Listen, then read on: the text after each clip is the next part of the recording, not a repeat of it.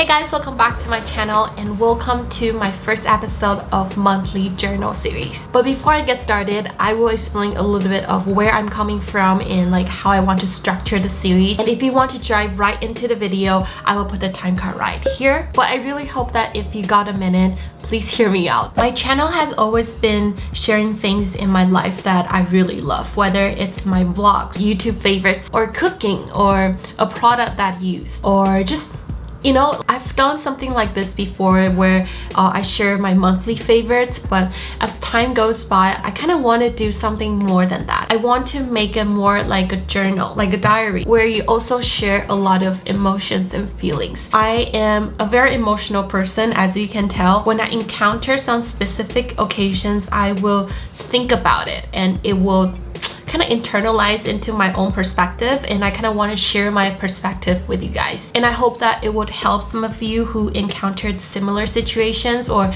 if you're very confused about the situation, maybe my experience will be able to help you. Also, if you have similar experiences, you can also comment down below and just kind of like an open community where everyone is kind to each other and we just share our stories and how we deal with it. But at the end of the day, just think of it as a journal. Second things I want to talk about is why I make this English. First of all, you guys seem to like the video of me speaking English, which I'm very, very blessed because I know that English is not everyone's cup of tea and I would love to create the content that we can all share the common interest on. And second, I just personally love English. I started loving like speaking and using English since I was in college and I still hold that passion. Since I'm not living in a English speaking environment, I figured that it will be a great opportunity for me to practice my English. Alright, I'm done talking about the intro and let's get into the June journal. So first of all, I want to answer a question that I got asked so much and that is what's the background music for my ending scene? This is actually from a fellow YouTuber. Uh, she has a music channel where she does like covers and she also has original songs and stuff like that. And her name is Renee Dominique. I think this is how we pronounced it. Um, she is very talented. I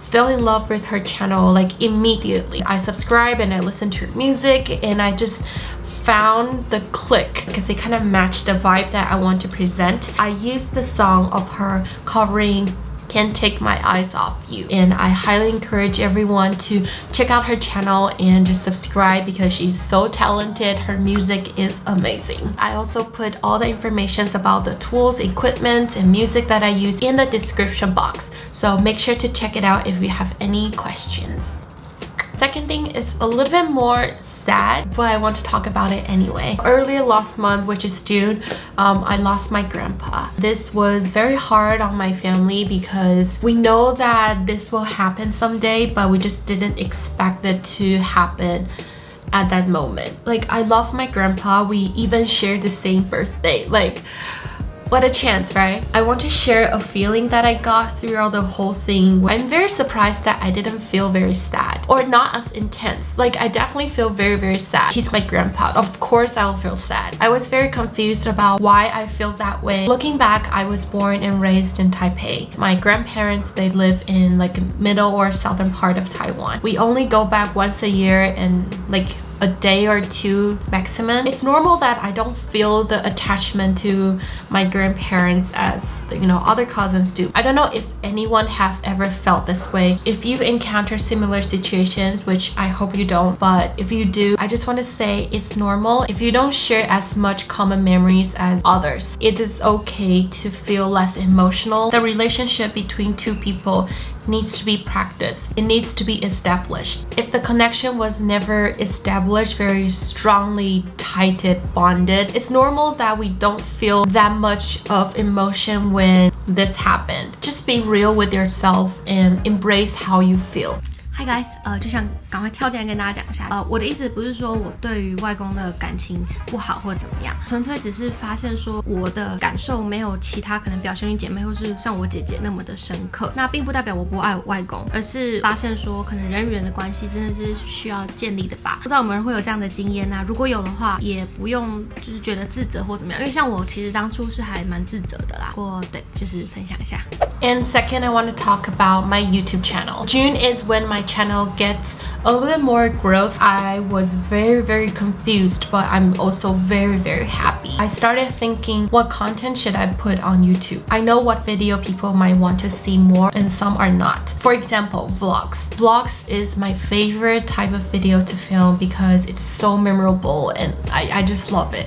But i also know that not everyone is interested in vlogs and they might like like this it's a sit down video. I came to the conclusions where it's about being happy making videos because I want to make this channel a closely bonded community which means that I want to be original, authentic, and real with you guys. This is an outlet for me to express my feelings. It was like that, it is right now, and it will be in the future. 对我又回来了哦，发现我现在好多想补充的事情。这边我想要补充的是，我当初是觉得有点困惑，因为我不知道我做了什么，所以我有段时间一直在思考，说我到底要做什么样子的影片才会让大家更喜欢我，吧吧吧。但是我最后得到结论，其实就是要找回自己的初衷，喜欢做的事情，不管是兴趣也好，工作也好，最重要的是自己的初衷吧。可能做决定的时候，还是要回归最原本的。Alright, enough talking about YouTube. Now I want to talk about my camera. So in June, I started vlogging on my new camera, which is my Canon M50. I was trying to get an M6, but then the person kind of convinced me to get an M50. So I figured this would be the best camera for me because I vlog a lot. I also got my microphone and my light. So I hope that the quality of the video has improved. Please comment below of what do you think. So yeah, this is what it looks like and yeah this is my setting it's my makeup bag and I have a tripod and everything like that. I think I like this one more than my Sony RX100V because it has the plug where I can put the microphone. It's a touch screen. It's a freaking touch screen, guys. I'm very satisfied with my purchase. I might upgrade to like a really big DSLR camera in the future. It depends on how my channel has grown and if I have the money to buy the camera yes. And last but not least i have a new hobby. So okay i was someone who doesn't understand why people play gacha because all my coworkers has a ton of them